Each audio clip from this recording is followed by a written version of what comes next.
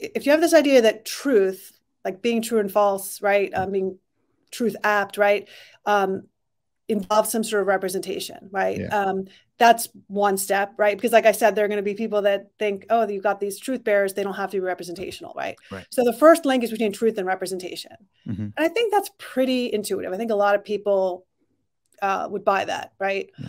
Um, and so then, how do you think about representation? Do you think does all representation have to derive from something mental, yeah. right? Um, and if you think yes, right, then that gets you in, into either a sort of Soames or Hanks kind of view or psych- psychologistic sort of view, right? Yeah. A modern philosophy kind of view, propositions or judgments, right?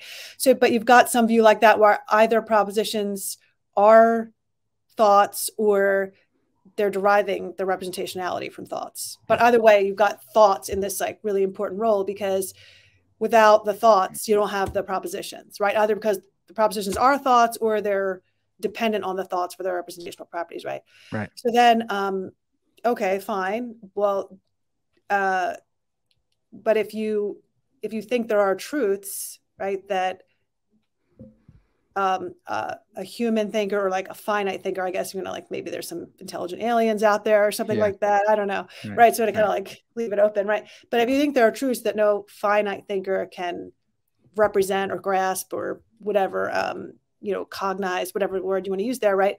Then um, that's kind of opening the door to, well, now if you want the representation of of any truth bearer to be grounded in a thought. Now you need you now you need a thinker that can think that kind of a thought right, right. you need a thinker with that kind of mental power right? And if it's like this infinite thing right? Like the, so the example of the sets.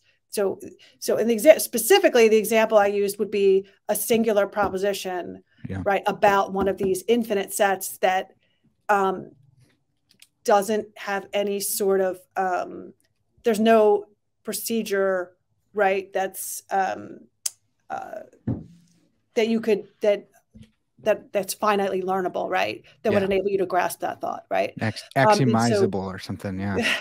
yeah. So so um you it, it's in it's plausible you need an infinite thinker to to think those thoughts right or to grasp those propositions or whatever to, to ground the representation of those propositions. And so that's where you get uh, the infinite um, thinker who would be something like god right? Yeah